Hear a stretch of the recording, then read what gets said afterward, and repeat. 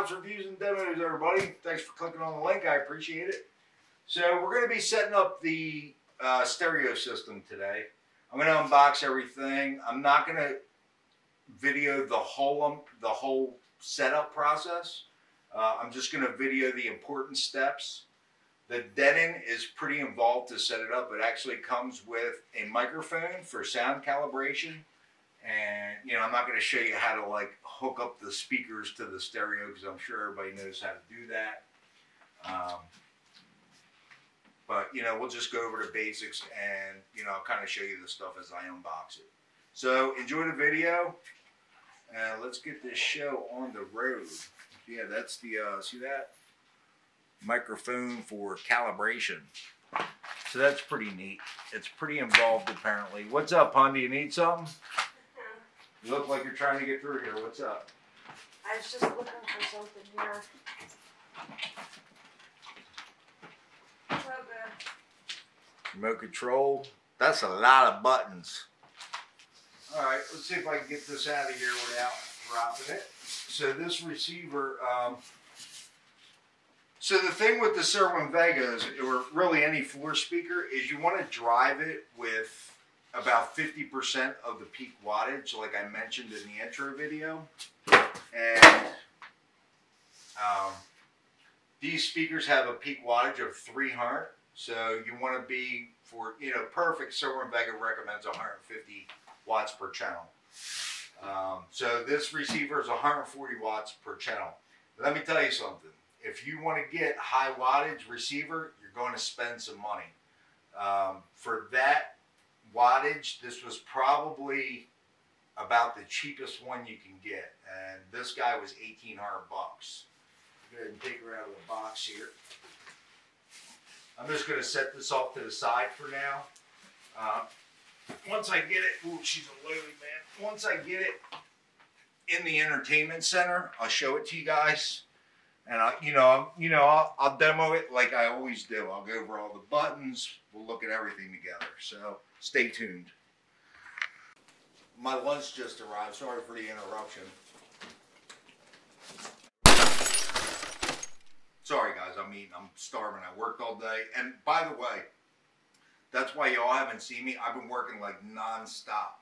Uh, I just haven't had a chance to really make any videos. So I apologize for that. I feel like I'm always apologizing for not making videos, but obviously the videos are on the way. So I do have some more 310 stuff I'm going to be doing as well, the JBL Party Box 310. We'll get to that. But uh, right now I'm really, really super excited about these. My first set of these I bought when I was about 16 years old. And they were single ohm speakers. Uh, they were 300 bucks a pop. Same wattage, 300 peak watts, and but they were single ohm, so that, them suckers could go low. Uh, the frequency on these on the low end is 29 hertz, which is pretty awesome. Um, I don't know if my old ones went that low or not, but I'm really surprised that they're a, almost the same price as they were, you know, back when I bought mine. It's basically the same model. Um, they're fuse protected. They have a fuse in there. Now, the fuse is for the bass, okay? You can still blow out your tweeters and mids, so you don't want to overpower the speaker. Um, receivers open. Let's get on with opening these. I'm, I'm super excited, guys. Sorry. I'm all over the place. I haven't eaten since like 8 o'clock this morning. I'm hungry. All right, let's get one of these bad boys out. I got to work again tomorrow. It's Saturday today, and I got to work tomorrow too. So, just a Red Bull today. No booze. I try not to drink on school nights because I'm a good boy. But uh, yeah, just a Red Bull tonight. Plus, I want to be sober when I hook this all this up. Man, that's a good pizza. Oh, thank God. I thought it was a box within a box. I hate when that happens. Get rid of that.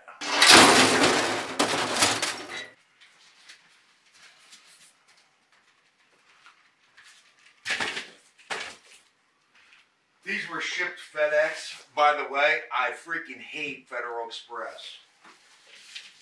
I ordered these things on like Sunday. They shipped Monday, and they arrived at the Federal Express place on Monday, and they literally sat there for four days. No bullshit. They sat at the same location. Excuse me. The same location for four days. Just ridiculous. FedEx sucks so bad. Um, they were supposed to be here Wednesday, and then they were supposed to be here Thursday. Then they were supposed to be here yesterday. And, you know, of course, I wrote to FedEx telling them they suck. So, um, the speaker showed up today. Finally. But yeah, I want to be careful getting these out of here. They got the, they do have the covers on them, the dust covers, so just want to be careful. They're not that bad. They're only 50 pounds a piece. They don't have that giant magnet in them like car speakers, so they're not terrible. You know, a lot of people,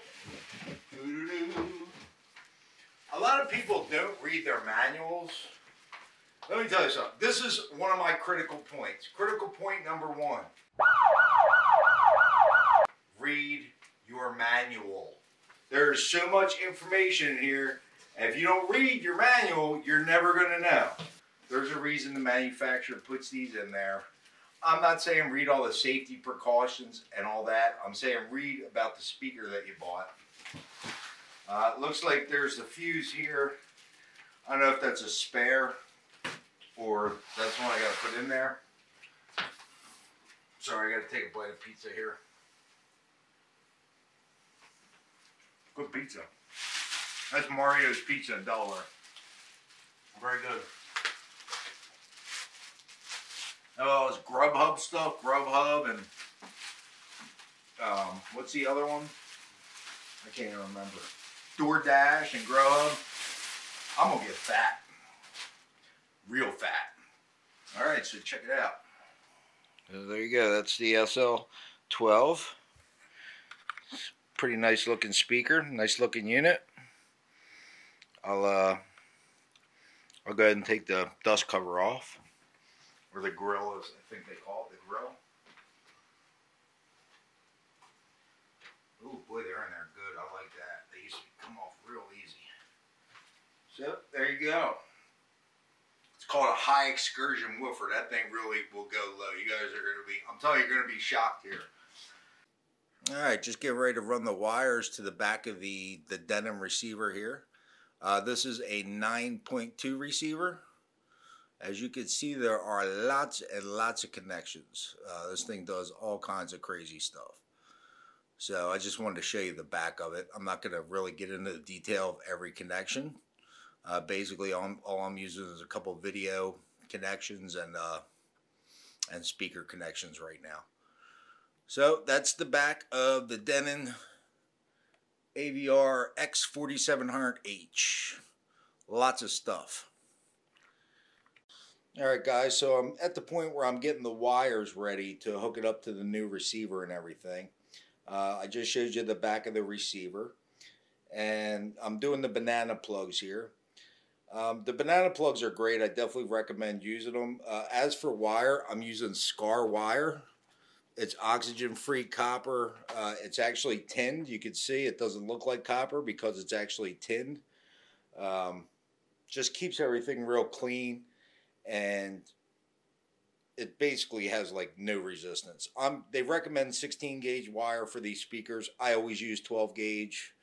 Uh, there's no reason not to. It doesn't cost that much more, and you know, this is high current stuff. The less you know, the less resistance you have, the cleaner your sound's going to be. Um, so then I got these. Uh, these are Media Bridge um, banana connectors that I'm using. And these things are great. They really make for a clean installation. You can see there's no strands of wire hanging out. Uh, they're corrosion resistant. They're really easy to install. You just, um, you know, strip like a half inch of insulation off your wire. Then you stick the wire up through their banana plug. And you can see there's just a little wire sticking through there. And then you just umbrella it you umbrella the strands around this golden crimper thing there. The golden thing in there has a bunch of teeth on it. You don't want them all bunched together. You kind of want to spread them out as much, you know, as best as you can. They ain't got to be perfect. Um, you know, this ain't like it's a hundred thousand dollar stereo system. So then this cap just goes on there. You can see it's got a little O-ring in there, and that's to keep from getting electrolysis. Um, you always want something separating the different metals, otherwise the current will cause a little corrosion and stuff. So uh, these are supposed to be corrosion proof. And you can see the banana plugs have these little grooves in there. Um, these are 24 karat gold plated and it has these little grooves in there. And this actually compresses when you stick it in there, so it keeps it tight. Uh, very nice. I definitely recommend this wire, the Skar audio wire, and these uh, Media Bridge banana plugs are great. And they weren't super expensive. So, yeah, these are just just great items to use. Keeps everything real clean and professional looking. All right, so we're going to try this now. I got everything's connected, I believe. So we're going to get turn the receiver on.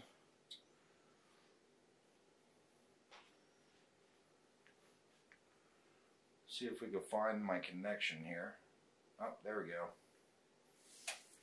Detecting device. So that my Samsung TV is detecting the receiver, it looks like.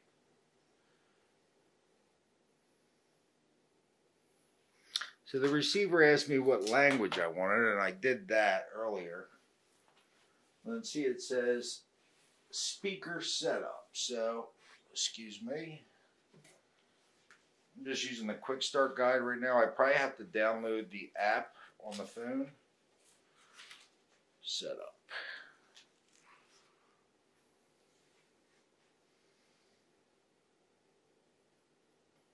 New device. Home theater. Denon.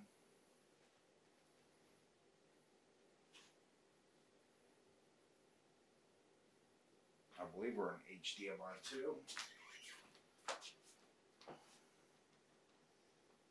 Yep, HDMI 2. It's correct.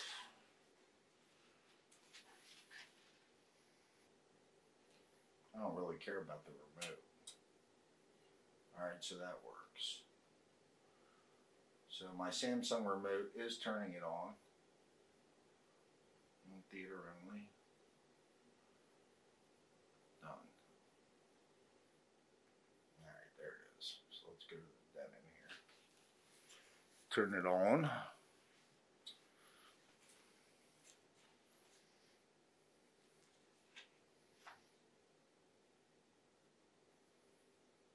And let's see what happens here.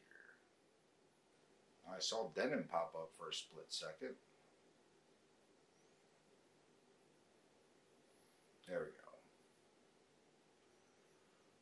All right, so this, so I don't have nine channels hooked up. I just have the stereo hooked up. But basically, if you go through this setup, um, you'll connect the microphone to the receiver, uh, like I showed you guys earlier. The receiver comes with this microphone for calibrating the sound. And I may still go through it um, just to check it out because it will actually, the receiver will adjust itself to the acoustics of the room and for where you're sitting and everything. So the receiver does a lot. And I'm going to use the Denon remote just to make sure I'm pressing the right buttons here. Do you have more than nine speakers, not counting the so? No.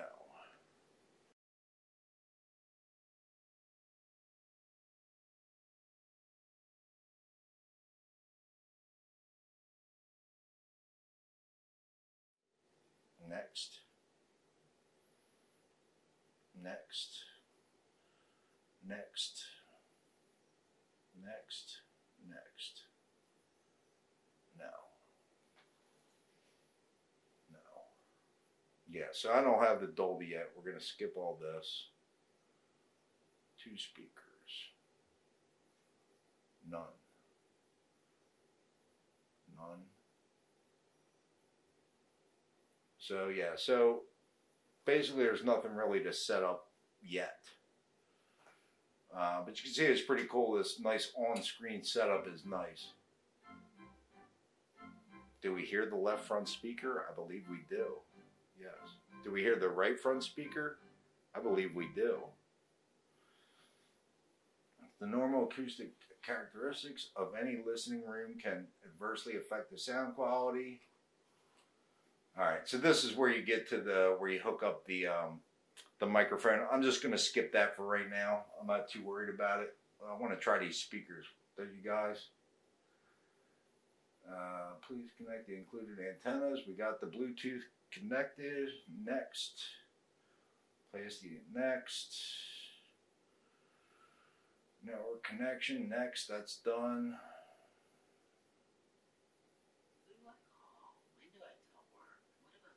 I can hear it. Yes. Eastern Standard.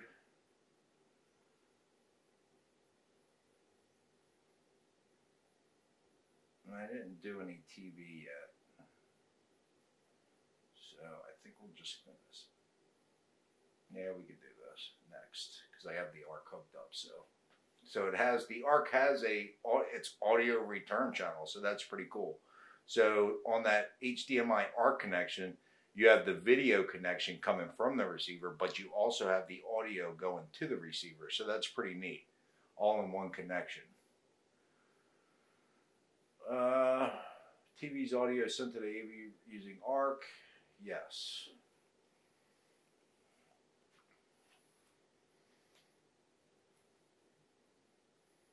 Next. So this looks pretty simple. Uh, the only thing I have connected right now is the PlayStation. Uh, which video input you want to use? HDMI. That's right. Next gain to next verify you can see the video and hear the audio. I guess I got to turn the PlayStation on. So let's go ahead and hit next. And there you go. So that's working beautifully. I'll tell you this is a pretty easy setup. Um, the last big receiver I set up like this wasn't wasn't digital. You didn't set it up on a TV you just kind of plugged everything and pushed buttons to get whichever source you wanted. PS4, we are done.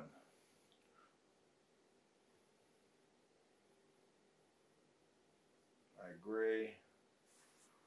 I got to get the app. I'll, I'll I will review the app later. Right now, I really want to get some sound going, and I'm sure you guys feel the same way.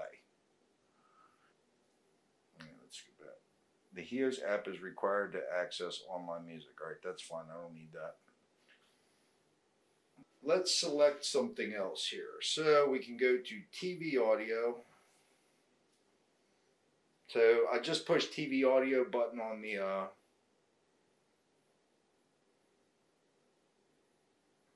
on the um, on the remote, and you can see it switched over here. So I would imagine if I go to BIOS, I should have TV now. Yes. Don't share needles or pens or reuse needles. Don't take Ozempic if you or your family ever had medullary thyroid cancer or so we have sound. neoplasia syndrome type 2 or a Let's see if I can connect this via Bluetooth to my phone here. Yep, there's the receiver. All right, so the receiver is now connected to my phone.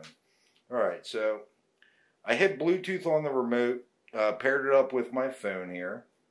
So I think we're ready to play some music. Now I haven't adjusted any settings on the Denon yet, so I'm sure we're just running flat. And I don't have my awesome mic on the camera either. So this is just going to be a little quick demo. Um, then I'll get the better mic out and we'll get some bass going and stuff like that.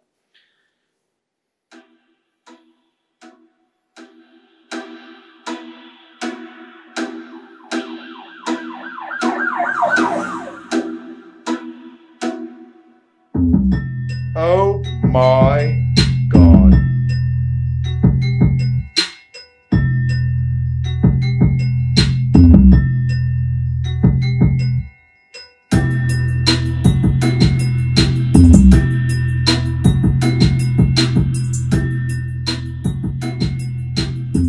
See, this is why I say don't buy two party party speakers.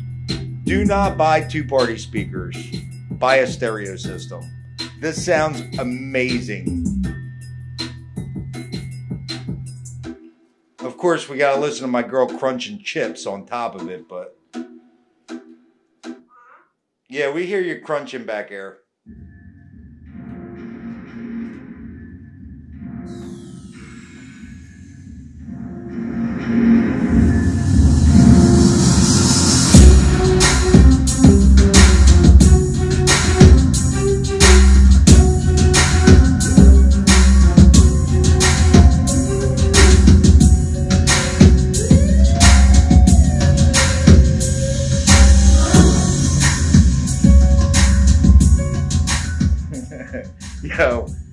Sounds amazing, guys. It really sounds amazing. I, I'm not even sure how loud the receiver goes, but if I go much louder than that, it'll it'll start overwhelming the camera mic. Um, let's see, what else do I have here? Try to find something with some serious bass.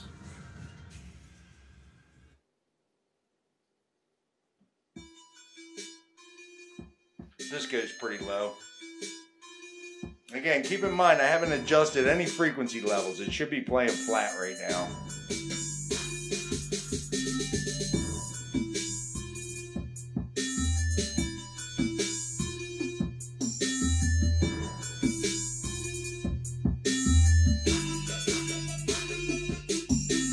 All right, here we go. That's the one I wanted.